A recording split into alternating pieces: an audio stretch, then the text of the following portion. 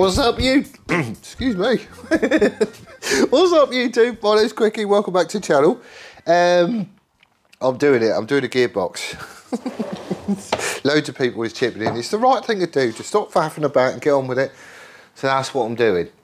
Um, so to set the scene, right, the van went in for its MOT on Friday. It failed, so I can't drive that. There's stuff that needs doing. Um, biggest jobs on it is one of the shocks on the front is started to leak and the MacPherson strut at the top of that shock, that needs to be replaced. But then other, there's a few other bits and pieces like, well, your yellow indicator bulb isn't quite yellow enough. So I need another one of them. And the horn worked twice out of the three times that we pressed it. So there's obviously like a dodgy connection there or something. They are quite strict on the MOTs where I go, but I quite like that. So anyway, the van is off the road, which means the bike has to get done. Mostly because I want the bike done. but at the minute, I'm I'm not mobile. Sam had to drop me down here today and she's leaving me here till tea time, which is great because I'll get a couple of hours extra. Um, so, I'm doing a gearbox. Um, so to set the scene, um, what are the symptoms? These are notorious for having troubles with second gear, as in you go into second gear and it jumps out, or you just can't select it properly, or something like that. That's not the trouble I've got with this. The trouble I've got is fifth. So when you you're hoofing along and you're in fourth, and then you go to get fifth, and as you let the clutch out, um, it kind of it jerks and it judders like that, and then it's almost like if you can imagine you've got um, uh, a tooth gear and a tooth is missing, like it's it's it's slipping past that point and it's kind of catching and jerking. Or if like you get it, sometimes like you let the clutch out and it kind of jerks and then it just revs. So it's almost like the gears aren't engaging at all. And even if it does catch, it kind of lurches and jumps out. And then with the revs, there is no power being delivered to the back wheel. So that's a symptom that I've got. Um, it only happens in fifth gear. All the other gears are absolutely fine. Shifting between gears, not a problem at all. Um, I've never hit a false neutral. It's just fifth gear. Um, so that's what I'm trying to fix. Now, this is a C model from 1990. So this is basically the first, first version of the bike. Um, and it ran the same from 90 to 93 um, with the same gearbox. And then for the D, they changed it.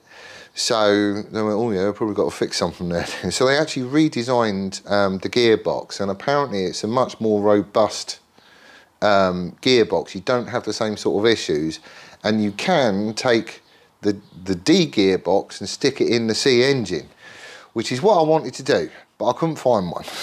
I couldn't find one the, the gears on this is just stupidly expensive and a lot of them aren't made anymore. So just the, if you look at Fowler's, for example, just the input shaft gear for fifth, that's 150 quid.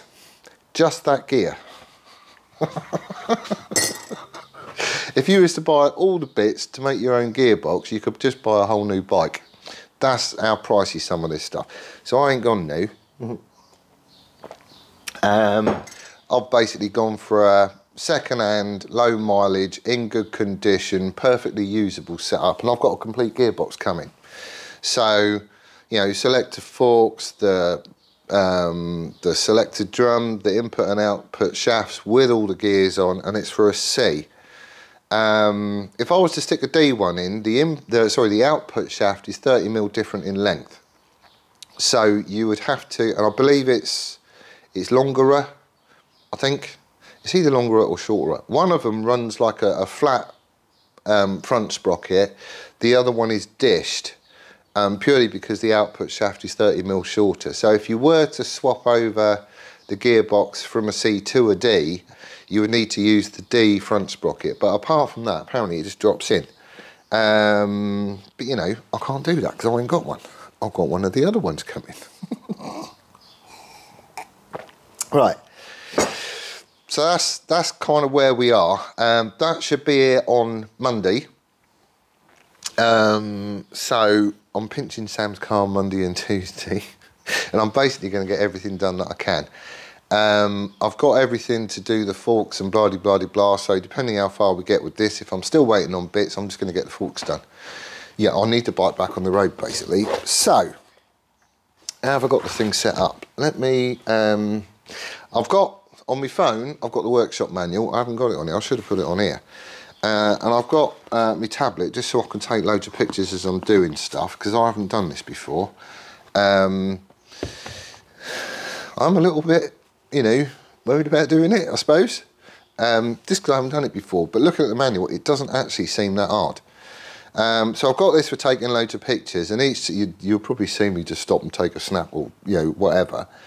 Um, and I've also got the Haynes Book of Fairy Tales, and between the two, I should be able to get this done. I think.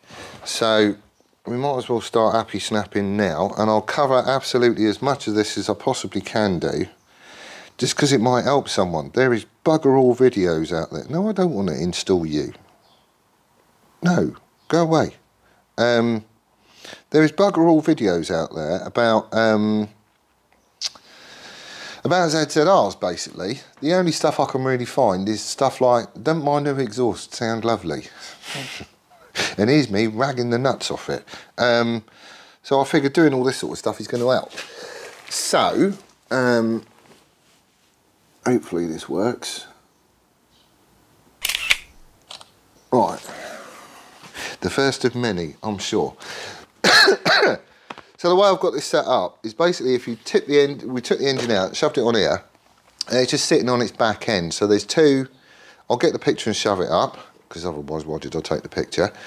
But I've got the whole thing sitting on the rear engine mounts, and there is nothing else touching down at all on the back there, which is peachy. Um, it does get a little bit close, but it's not touching. and I can rock the whole engine back, you know, to a point anyway, without um, without causing any damage. So that's handy. So that's how it's all set up, and that's how I'm going to be working on it. I'm working on wood. Um, ideally, I would have like, you know, with the sump on, I just would have cleaned the bejesus out the bottom of it to stop anything getting in there, but I didn't. So we are going to have to go careful. Right, step one. Ah, gear change components.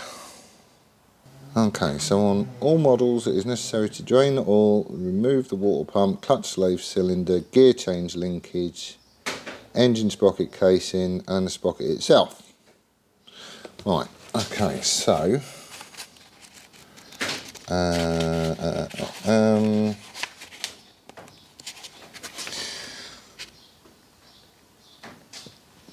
water pump, blah de blah de blah. Sealed unit, can't be serviced. right, okay, so water pump loose down here. Essentially, it's a case of take that off. Where's my thing? Where's my ratchet gone? Oh, don't say I've lost that.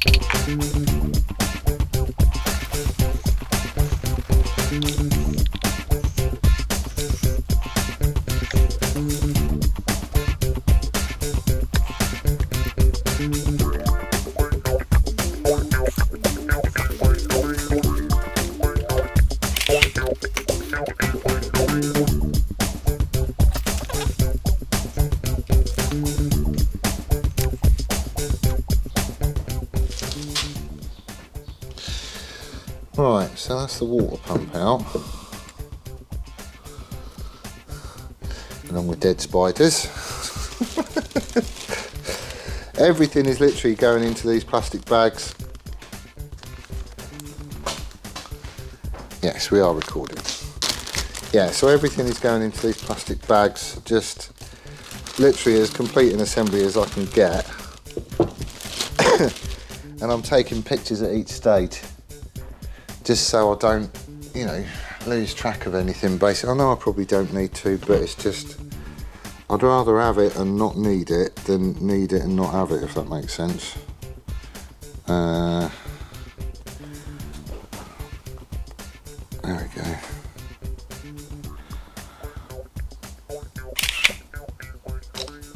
Right. Alright, so that's the water pump out. Um, um, um, um, um. Stick that retaining bolt in there as well.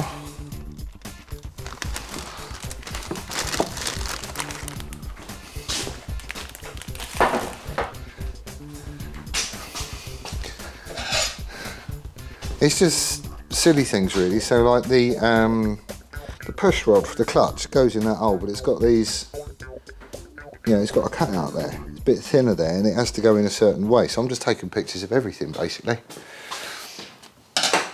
And it's all getting laid out on the bench in the order that I took it off as well. Right, so he's done. So what was next? Note also that it is only necessary to remove the clutch if the gearbox input shaft is to be dismantled, otherwise it can be left in position. Right, so the clutch is probably coming out as well.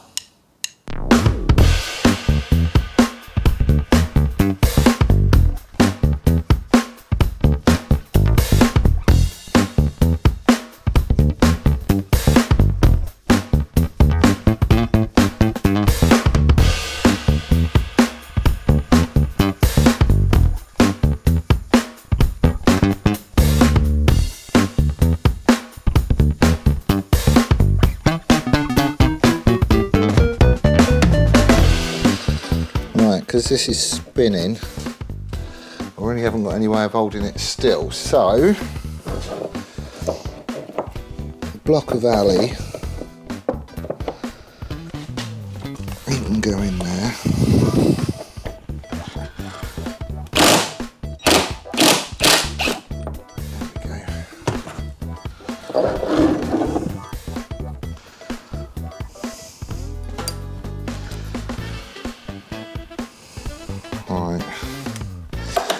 this is the dished um, front sprocket I was talking about.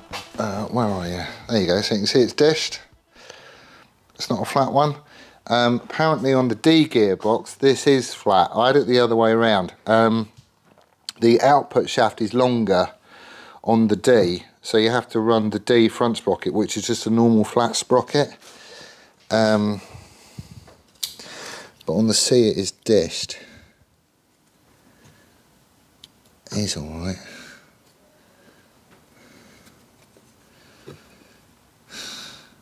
There's lots of goo, isn't there? Right.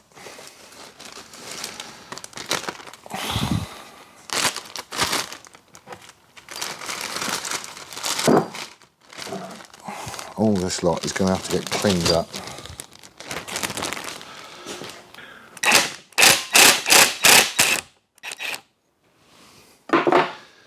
Right, so the cradle is just in the way. So he's going. um, apart from that, it kind of overhangs the covers that I want to split anyway, so it probably have to go at some point. So he's just leaving now. Uh, put that bolt there. You're just going to come off. Come on. Come off. There we go.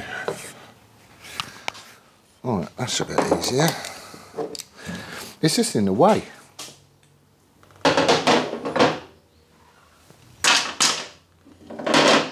Alright, that can all stay there. Um, do I get those out? Actually, probably don't need to come off those mounts. There's a bolt that goes through here that goes onto the, the, the basically I'm trying to split it here there's a split now actually. I'll get a picture. I will show you. Um, come on. Why don't you recognise my face anymore?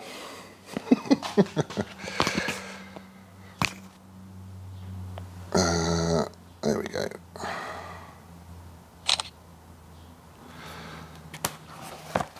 Right, so there's a split line here, middle of this casing, goes all the way along. But all the securing bolts for the, the engine mount is on this side, not this side, so I shouldn't need to take them off. But it just gets the cradle out of the way so I can see what the hell I'm doing. Right, I think the next bit is the gear change mechanism cover, it says, which I'm assuming is that bit. Because that's the gear change mechanism, and that's the bit that's covering it.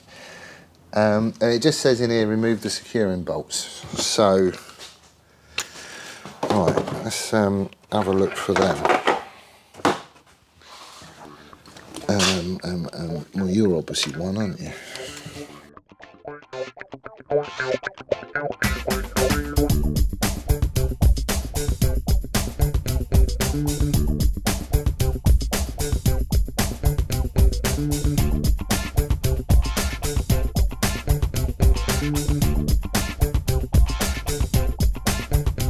Right,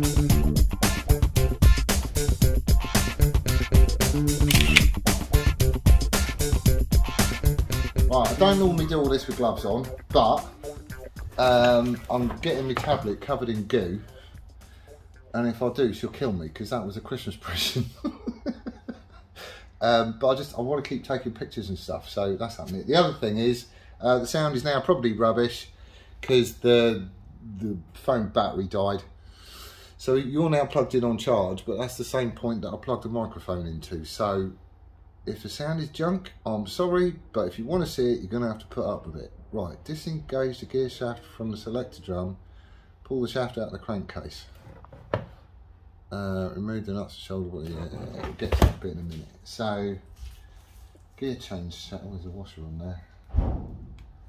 Um, where's my cable ties, just so nothing goes astray.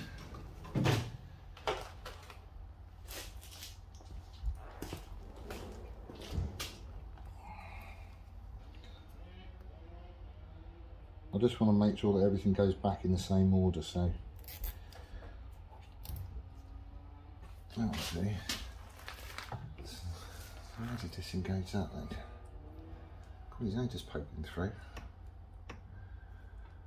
Right, so he, you move this with the, the lever, he just pushes on those pins up and down. So disengage it, I'm guessing it's that. I'm guessing.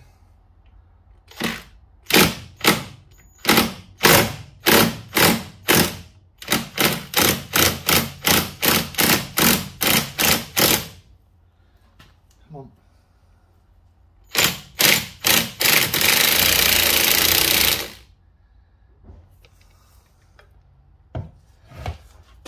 Well, you've got to come off. Don't be stupid. It has to be that.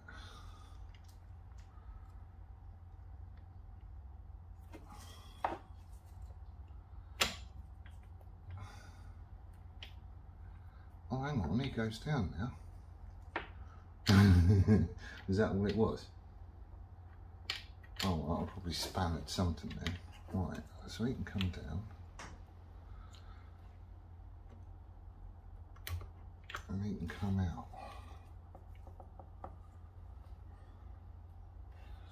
Okay, maybe it wouldn't then.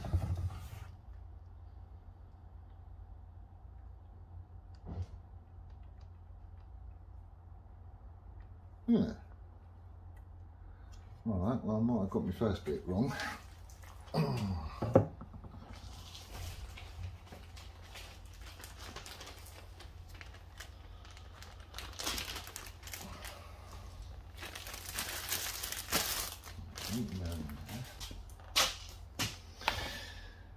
Um, remove the nuts and shoulder washers which retain the neutral and gear position detent arms and remove the arms along with their return springs. Note that although the detent arms are identical, the return springs are different and cannot be interchanged. So apparently on the C model, the gear position lower arm spring is yellow and the neutral upper arm spring is white. Now what, where's the blue one? oh. Right, okay, so these are the detents with a spring. I like it, yeah.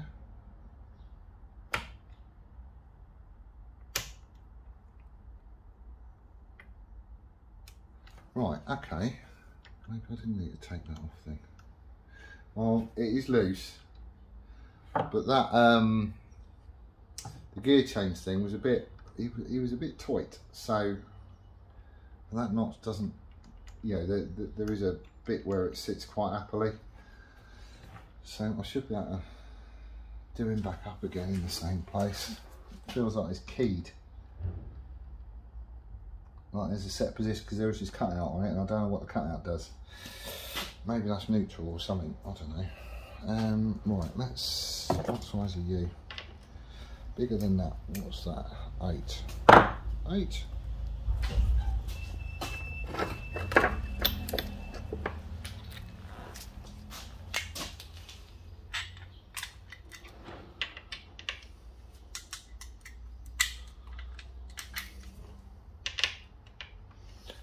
Nine. Oh, actually, let's get a this.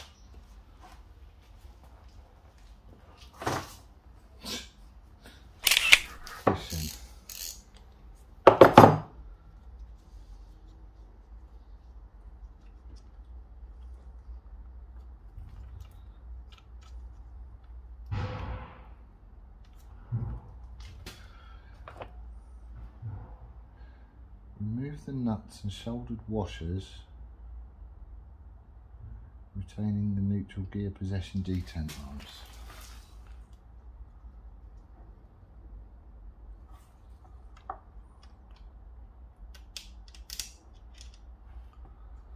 Alright, yeah, shouldered washer, nut.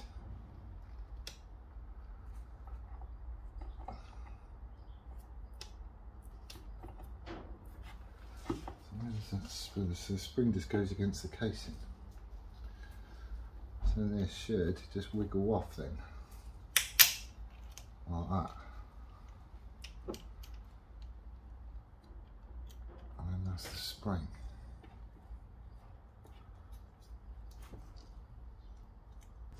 And that spring's just up against the casing as well.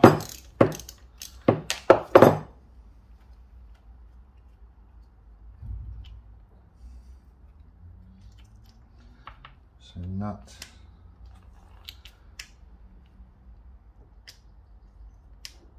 There's the washer.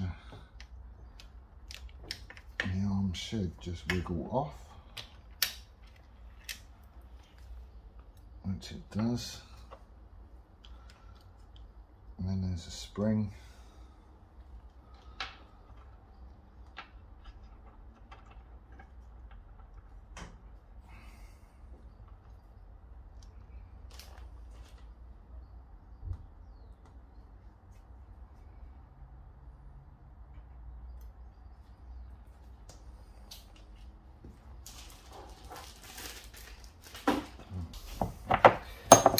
Is why the Haynes book of fairy tales is rubbish.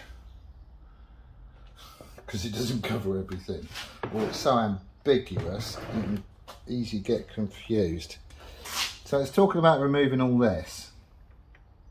Um, so there's a retaining plate here, which needs to come out, and then you're supposed to be able to pull out the selector foot. Well, I can't even, I can see them down there, and I can see them moving the gears in and out as I rotate the selector drum. I can't get to it, so I think the oil pump housing's got to come off. Did it say anything earlier about removing the oil pump housing? I don't know. I can't see. But I reckon this has all got to come off just because it's in the way. There we go.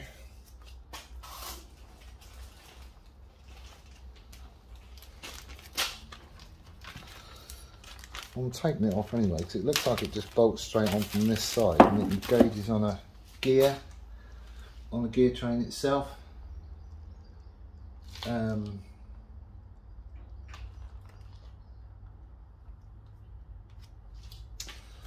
oil pump housing.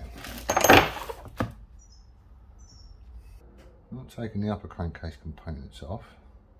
Lower crankcase.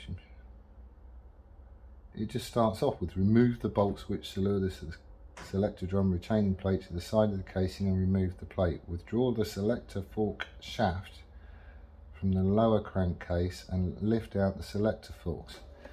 The bloody hell are supposed to lift them out? You can't even get to it. Well, that needs to go. That needs to go, I'm sure of it. Um, so let's start with the obvious ones.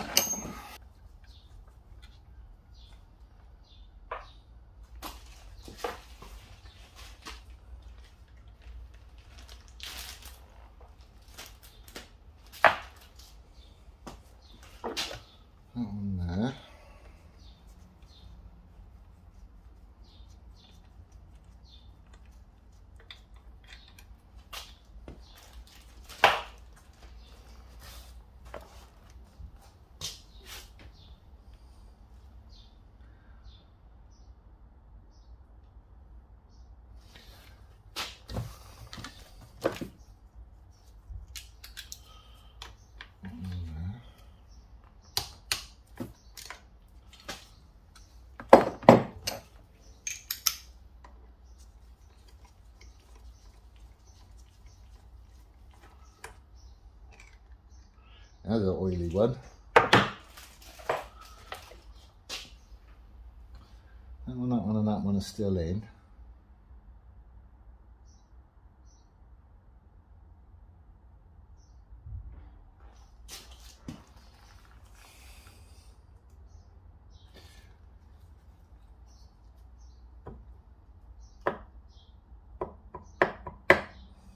Come on.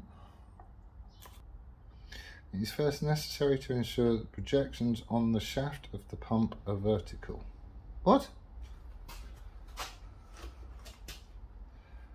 Projections on the shaft of the pump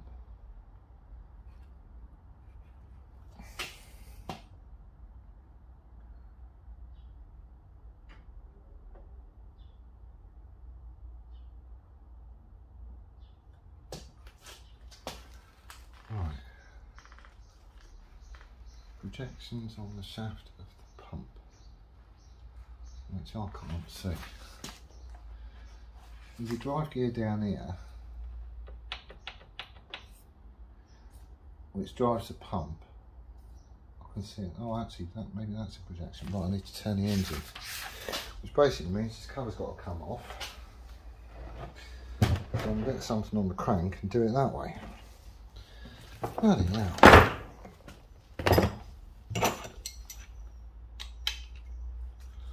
I'm definitely going to have to get myself some more gaskets. I'm going to need a few.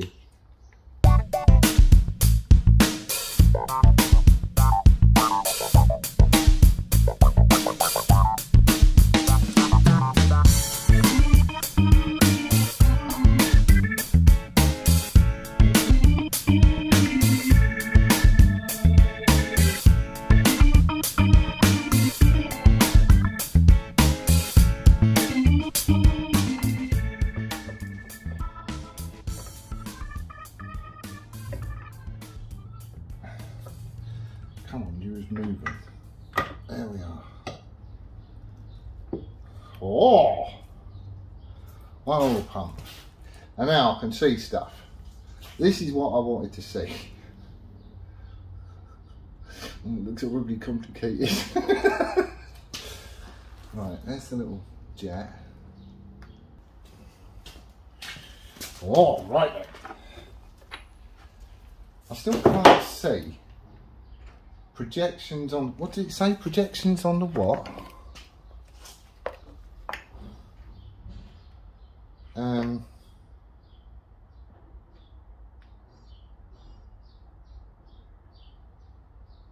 to allow the oil pump and mounting bracket assembly to be removed from the engine, it is first necessary to ensure the projections on the shaft of the pump are vertical. Projections on the shaft of the pump.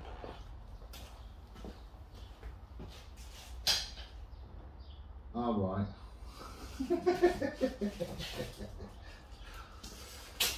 right, so this goes in, this goes in that way, in there, and there's these projections on the shaft there. I'm guessing that's what it means. There's like a, like a vertical jobby. So just by turning the engine over, you can turn the crank